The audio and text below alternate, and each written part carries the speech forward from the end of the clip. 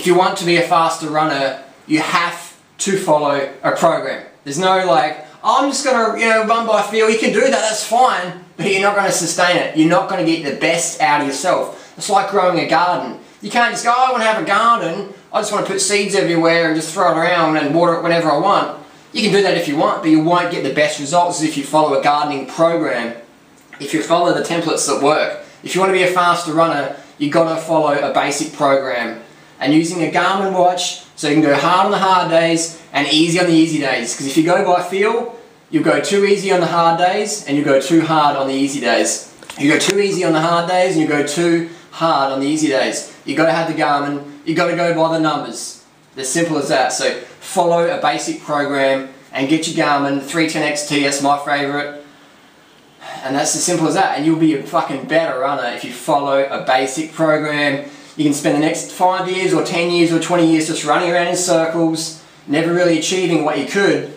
It's just like throwing seeds in the garden with no structure, no season, whatever. Just, yeah, throw it in there, should be right. I'm just going by feel. I'm just going to throw seeds in the garden and they might sprout, might be the wrong time of year, but I don't know. And I'm just going to water the plants and I think no, you've got to follow programs. You've got to follow template if you want the best results. You don't have to, but if you want the best results, get a basic running program, get a basic gardening program and follow it. So I went for a run just before.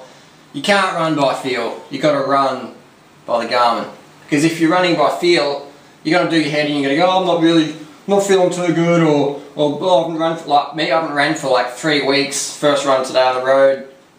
The Garmin just tell me how I'm doing. Because if you're going by feel, I was going, my head was going, oh, you're running in heavy shoes, you haven't run on the road for three weeks, you know, it's hot and humid here in Bangkok, you, you know, you can't do it. But the Garmin, Garmin doesn't lie.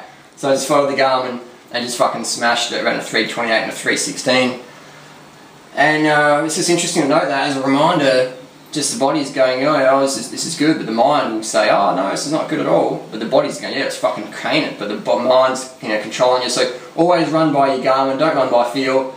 If you run by feel, you either go out too hard or you go out too easy when you're doing intervals most time in races people go out too hard because they're all excited at the start and they're running real fast and you're like slow down slow down. Go, no I feel good I feel good I'm just going to keep with it I'm just going to feel with it. And it's like yeah you're going to blow up in the next K. So you've got to run by the Garmin run by numbers and that's what matters when you go if you want to run faster. Run by the Garmin. If you're running by feel you'll do your fucking head in.